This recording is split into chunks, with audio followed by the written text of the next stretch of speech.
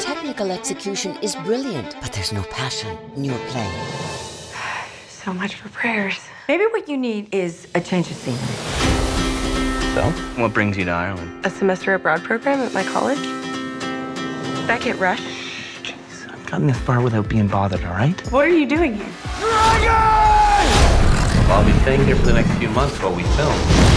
Who knows? Maybe we'll run into each other in a pub somewhere. I seriously doubt that. I heard Beckett Rush is at the airport. Do you like him? Not really my type. It's so good to have you. We're running a bed and breakfast. Would you mind taking this to the gentleman in the corner? You? Are you stalking me? Why is Beckett Rush in the dining room? What? Nora, dear. Give me jam for the scone. Yeah, sure, love. Cheers. I'm looking for something real. Well, I'll be your personal tour guide. Trust me. I don't.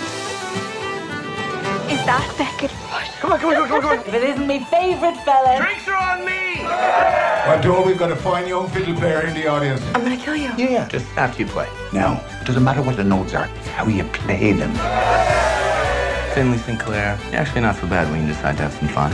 You're not so bad yourself. But we don't even like each other. We're just too different. Definitely keep this from my parents. It's rather obvious. What planet do you think I live on? Written in these walls are the stories that I can't explain. Do you even like being a movie star? There's the real Beckett. open, but it stays She doesn't understand our life. We should probably keep all this between you and me. I'm just trying to protect you. He's living two lives. He can't decide which one he wants. If you really care about him, don't get in the way. You just gotta trust me. I tried.